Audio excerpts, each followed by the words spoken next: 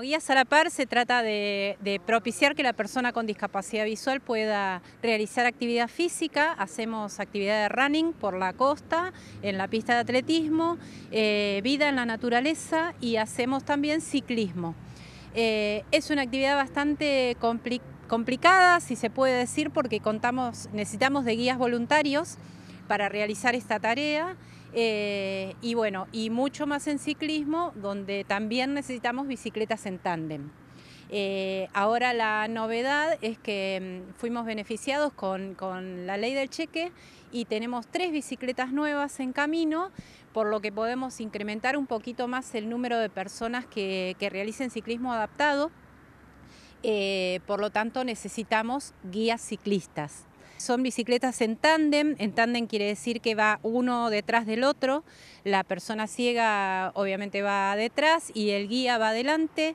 Eh, no todas son iguales, generalmente los cambios están adelante, pero hay algunas que tienen los cambios atrás. Eh, y la, bueno, la principal característica es que tienen que tener eh, una comunicación constante y muy fluida y conocerse un poquito. ¿no? Subimos los dos, coordinamos siempre, Em, con el mismo pie. Eh, generalmente usamos el pie derecho arriba y cuando estamos a punto de salir decimos 1, 2, 3, salimos y arrancamos los dos a la vez.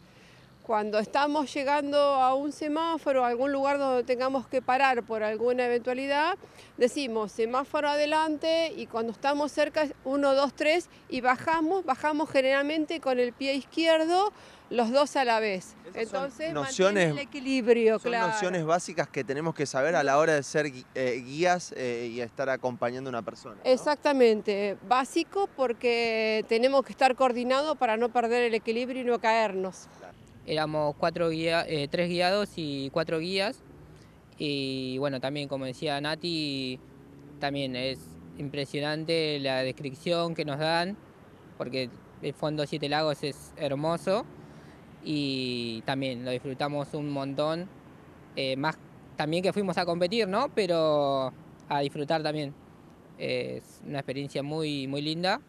Fuimos en el 2021, eh, un grupo grande, nos fueron a acompañar los guías y los guiados también. Hace tres años que yo me quedé ciega y creí que nunca más iba a andar en bicicleta y de repente que, exista Marisa con la ONG, con Guías a la Par y nos den esta posibilidad es gigante. Los guías no solamente eh, cumplen su rol de guía, eh, coordinando como recién te contaba Susi, sino que también nos cuentan el paisaje, que eso para nosotros es un montón, tienen una empatía gigante. Eso es fundamental, porque todo lo que hoy no ves vos, eh, tiene que hay, alguien más darte esa posibilidad para ir recreándotelo. Tal cual. Y a medida que vamos avanzando en el camino y, vamos sintiendo los diferentes sonidos, eh, la descripción gráfica es, es, gigante, es un montón y es tan lindo, tan lindo poder sentirlo como... Es otra manera de visualizar.